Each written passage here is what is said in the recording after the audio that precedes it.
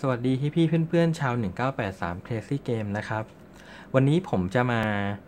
รีวิวคร่าวๆนะครับ กับการใช้ตัว Fat d i ที่ลงเกม p l a 1นะครับ มาเล่นบนเครื่อง p l a 2นะครับ ว่าการใช้งานของมันคร่าวๆ เนี่ย จะเป็นยังไงแล้วมันมีปัญหาอะไรหรือเปล่านะครับ ก่อนอื่นเลยต้องบอกว่าไออุปกรณ์ที่ใช้หลักๆ เนี่ย มันก็จะต้องมีเครื่อง p l a 2อะละชุดหนึ่ง แล้วก็จะมีตัว Fat d i หรือว่า USB ที่ลงโปรแกรม กับเกมเอาไว้นะครับ ตัวโปรแกรมที่เราใช้เนี่ยมันจะชื่อว่า Free Mac Boot นะครับ ก็ไปถือว่าเป็นตัวที่ค่อนข้างโอเคแล้วล่ะในการเล่นนะครับ ทีนี้อ่าโอเค พอเปิดเครื่องมาเนี่ยมันก็จะเจอหน้าจออย่างที่ขึ้นอยู่ตอนนี้เลยนะครับผม ในนี้ก็จะเป็นรายชื่อเกมที่ผมลงเอาไว้นะครับ ซึ่งตอนนี้ผมใช้แฟลชไดร์อยู่ที่ประมาณ 32กิกนะครับ มันก็จะลงได้ราวๆ40 หน่อยๆเกม แต่ว่าทางนี้เนี่ยมันจะอยู่ที่ตัวขนาดของไฟล์ที่เราลงด้วยนะครับ ว่าไฟล์ใหญ่มันก็จะลงเกมได้น้อยลงไปนะครับผมรายชื่อก็จะขึ้นโอเคตามนี้เลยนะครับ จะมี 3 หน้าทั้งหมดนะครับ ทีนี้เดี๋ยวผมจะtest การโหลดเข้าเกมให้ดูนะครับ แล้วก็จะบอกว่าอะเทียบให้ดูว่าตัวเนี้ยเล่นกับ การที่เราใช้แผ่นเนี่ยเป็นยังไงบ้างนะครับ เดี๋ยวจะ test ตัวที่เป็นเกม action ให้ดูเลยละกัน เพราะว่ามันจะมีการใช้การเคลื่อนไหวของภาพเนี่ยค่อนข้างเยอะนะครับ โอเค เดี๋ยวผมจะเลือกเกม Rampage นะครับ เราก็กดกากบาทเพื่อที่จะ run เกมนะครับผม ทีนี้ถ้าเป็นการใช้ flash drive เนี่ย มันก็จะมีการใช้เวลาโหลดเข้าเกมเนี่ยสักแป๊บหนึ่ง ประมาณสัก 15 วิน่าจะได้อยู่ นะครับหรืออาจจะไม่ถึง อย่างตอนนี้ก็จะขึ้นมาละเป็นโลโก้ของ PlayStation แต่ว่ามันจะไม่เห็นคำว่า Sony ขึ้นมาก่อนนะครับ ตัวนี้ก็จะโหลดเข้าฉากของเกมละอ่า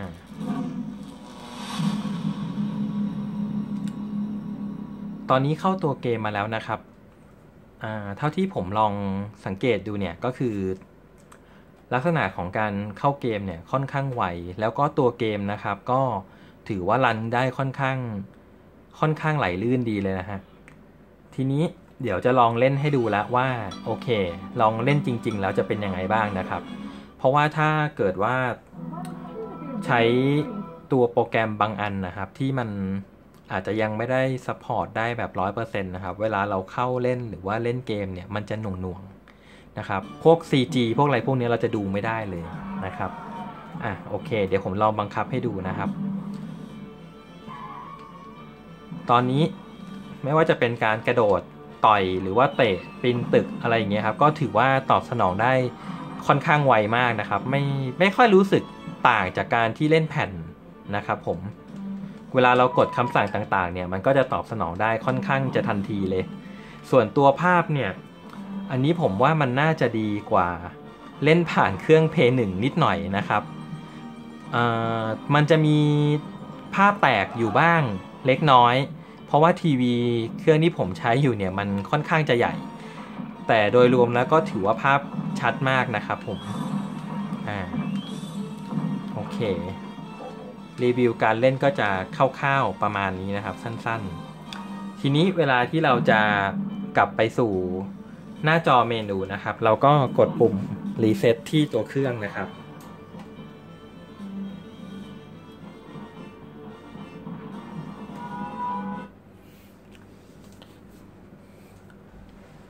พอ reset เสร็จปุ๊บ ก็จะขึ้นโลโก้ของ Free Mac Boot มาให้เห็นแบบนี้นะครับ แล้วก็มันก็จะกลับไปสู่ไอ้หน้าจอฟ้าๆเมื่อกี้นะครับ ที่เราเลือกเกมนะครับ อ่า โอเค อันนี้ก็จะเป็นการใช้งานคร่าวๆนะครับผม อันนี้ผมลองจริง ๆ แล้วผมลองไปค่อนข้างหลายเกมแล้ว แทบทุกเกมก็สามารถที่จะดู CG ได้ปกตินะครับ แต่ทีนี้เดี๋ยวต้องต้องเน้นย้ำนิดนึง เพราะว่าไอ้เครื่อง p ย์2ที่มาเล่น flash drive ที่ลงเกม เพลย์1เนี่ย การเล่น CG เนี่ยไม่มีปัญหานะครับ แต่ว่าถ้าเกิดเราเอาเครื่อง เพลย์2นะครับ ไปใช้ ตัว flash drive หรือว่า Memory Card เนี่ยในการเล่นเกมที่ลงฮาร์ดดิสก์นะครับ อันนั้นเนี่ยจะมีปัญหาคือตัว CG เนี่ยมันจะกระตุกนะครับ มันจะไม่เหมือนเอาเพย์หนึ่งมาเล่น ถ้าเอา Play 2ด้วยกันเองมาต่อแบบนั้นเนี่ย มันจะมีปัญหาในการเล่น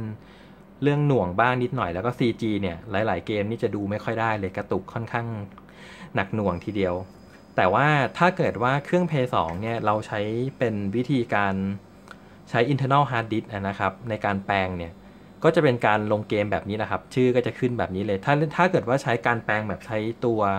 internal hard disk นะครับ มันจะค่อนข้างไหลลื่นนะครับ เล่นไม่มีปัญหานะครับอันนี้ก็จะเป็นข้อแตกต่างของการเล่น flash drive เล่นหรือว่าใช้ memory card ในการเล่นผ่านตัวเกมที่ใช้ลงฮาร์ดดิสก์นะครับผม ส่วนข้อดีของการใช้ USB อันนี้คืออะไรก็หลักๆก็น่าจะเป็นเรื่องช่วยในเรื่องของการประหยัดนะครับ อย่างสมมุติว่าเราเล่นแผ่น Copy เนี่ยนะครับในตัวเกมทั้งหมดเนี่ยมันจะมีอะโอเคเล่นสมมุติว่ามีสักสี่สิบเกมแล้วกัน เราเอาตีไปแผ่นคร่าวๆสักประมาณ 50 บาทก็ได้ หรือว่าอาจจะประมาณร้อยหนึ่งถ้าเกิดเป็นแผ่นปั๊มหรือแผ่นไลที่มันดีๆหน่อยนะครับ มันก็จะราคาค่อนข้างสูงเหมือนกัน ถ้าเกิดว่าใช้ตัวนี้เนี่ย มันก็จะช่วยให้เราประหยัดไปได้ประมาณหนึ่งเลยฮะ ก็น่าจะเกือบเกือบพันหรืออาจจะเกินพันบาทขึ้นไปนะครับ ทีนี้เนี่ยข้อดีอันนึงก็คือมันพกพาค่อนข้างง่าย เพราะว่า flash drive เนี่ยมันก็จะค่อนข้างเล็กนะครับ ก็จุได้ค่อนข้างหลายเกมเหมือนกัน คือเวลาเราเอาไปเล่นที่ไหนเนี่ยเราก็ยกแค่เครื่องเพลย์ไป แล้วก็เอาตัว flash drive เนี่ยเสียบเข้าไปเล่นเลย อ่า อันแล้วก็ไม่ต้องมานั่งขนแผ่น 40 แผ่น 50 แผ่นเนี่ยก็ช่วยให้เราสะดวกสบายขึ้นนะครับ อันนี้ก็จะเป็นข้อดีหลักๆ ส่วนข้อเสียที่ผมเจอบ้างเนี่ยก็จะจะเป็นอ่าการโหลดเกมที่